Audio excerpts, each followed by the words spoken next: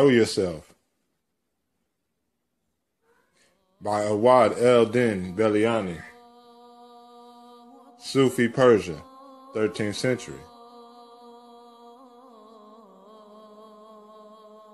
In the name of God, the compassionate, the merciful. Praise belongs to God, before whose oneness there is no before, unless the before is He, and after whose singleness there is no after, unless the after is He. He is. There is not with Him any before or after, above or below, closeness or distance, how or where or when, time or moment or duration, manifested existence or place. And he is now, as he has always been. He is the one without oneness and the single without singleness. In this statement right here, he is the one without oneness means he is the one without a quality of oneness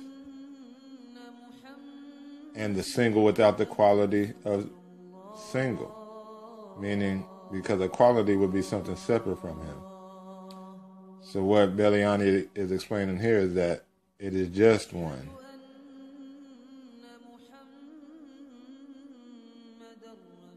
he is not composed of name and named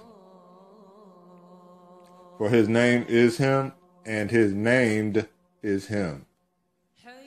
And there is no name or named other than him. He is the first without firstness and the last without lastness. God is the apparent without appearance and the hidden without hiddenness. He is the very existence of the letters of the name the first and the last, the apparent and the hidden. There is no first or last, apparent or hidden, except Him. Without the letters which form these divine names becoming Him, and without Him becoming these letters. Understand this so you don't make the mistake of those who believe in incarnation. And right here, this is another thing because when we speak amongst beings, we speak of incarnation, but there is no incarnation if all is Him. And this is what Balyani is pointing to in this that all is God. When we think of incarnation, we think God is coming into um, a body, incarnating. But this is never the case with one who sees God. Because God is everything. There is no coming into anything.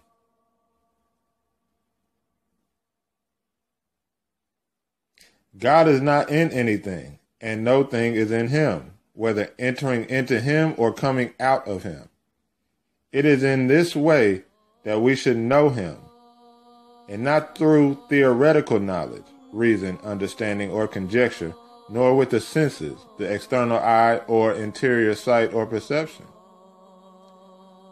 No one sees him except himself. No one reaches him except himself. And no one knows him except himself. And when you um, are, as the Christian religion says, born again or as the Hindu religion say, uh, self-realized, you will see that you were never the um, human being you thought you were. You were always him. And this is what Balyani is stating here. No one sees him except himself. So when you see that you are always him, you are seeing yourself. No human being can know him. He only knows himself and this is the, the this will this statement will become clear when you become self-realized. He knows himself through himself and sees himself by himself, by means of himself. No one but he sees him. His veil is his oneness, since nothing veils him other than himself. His own being veils him. And this is often conveyed as the mind or the ego being the veil of him. Meaning you think you're a individual self with your own will is what veils you from the will that was already operating, which is his will. His being is concealed by his oneness without any condition. No one other than he sees him. No sent prophet, perfect saint, or angel brought close knows him. His prophet is he, his messengers he, his message is he, and his word is he. He sent himself from himself, through himself, to himself. There is no intermediary or means other than him. There is no difference between the sender, that which is sent, and the one whom it is sent. The very existence of the prophetic message is his existence. And that's another great saying.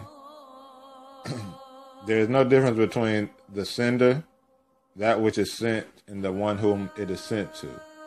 And it's the same as saying there's no difference from the seer, the seeing, and that which is seen. For instance, there's no difference from the one who sees and the eye seeing and the tree being seen. There is no difference. It is all God.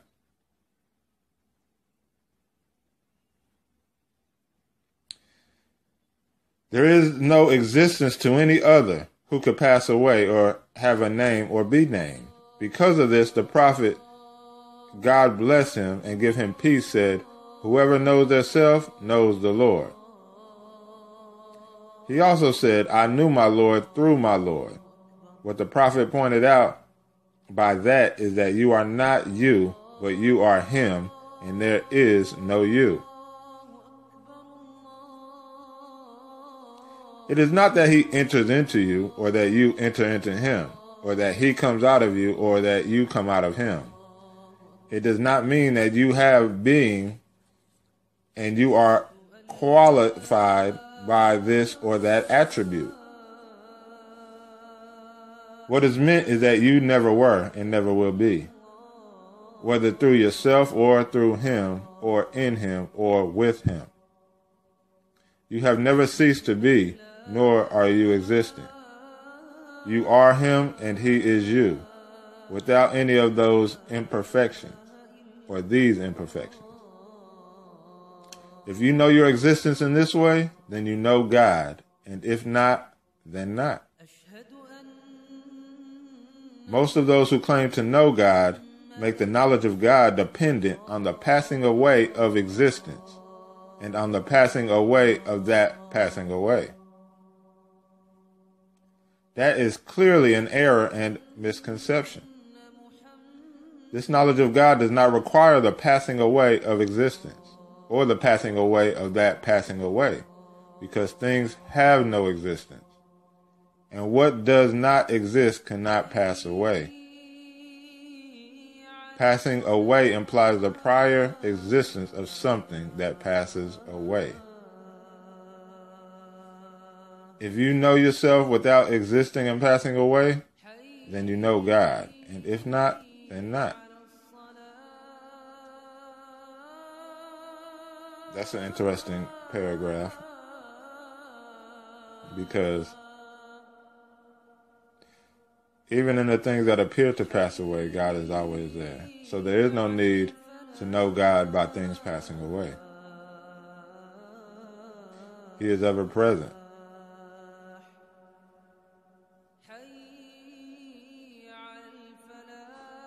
and that which is ever present is you. You are not the things that pass away.